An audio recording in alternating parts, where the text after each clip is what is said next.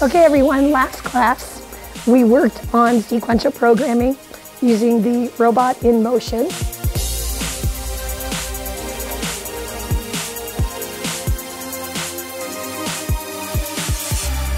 Today, what we're going to be doing is building on what we did yesterday by adding the ultrasonic sensor. When you start programming your robot, your robot will react more intelligently to the environment around it.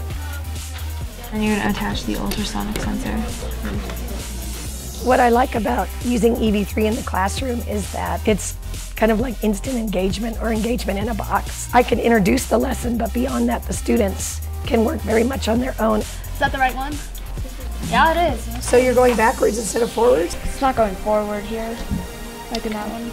We need to recalibrate it so that it's the, so the up position is zero. Sound look good? Yep. Yeah. Yes! EV3 makes learning easier for me because it's really easy to follow. You're actually building what you want to build hands-on and you get to immediately see the results of your project in real time.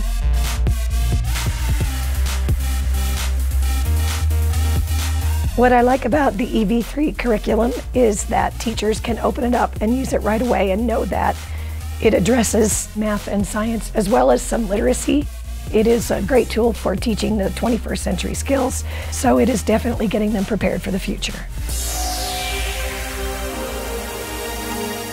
So today we're going to explore three scenarios. We're going to explore the temperature of water coming out of the tap. We're going to explore the temperature of water with ice in it. And then finally, we're going to explore the temperature of water if I've added some salt to the ice. So we want you guys to use the software tool to predict, and you're going to analyze to compare how close was your prediction. Okay. When we use the data logging, we can collect data at five samples per second. You can't do that with a regular thermometer. In addition, the students are comparing their prediction with what's actually happening, as it's happening. Right here at about 95 seconds, at that exact moment is when the water inside this test tube just started freezing. Cool. Getting to watch the data kind of move on the screen, coming to life. EV3 really helps you to learn the science as opposed to just watch it.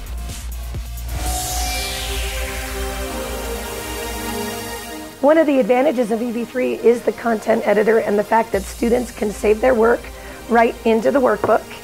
When they want to go back to their files, they simply open it up and they go back to those pages. They can add photographs, they can add their drawings, and it makes it easy for teachers to assess and track their progress.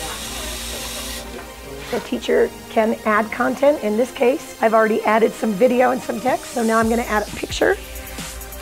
And I simply find the photograph, tap, open, and there it is in the software. It's easy.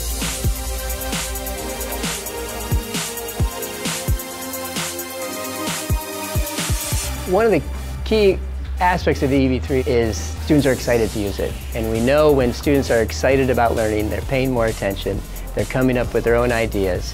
That again keeps the engagement factor high because they own those ideas and they get an opportunity to explore their own ideas.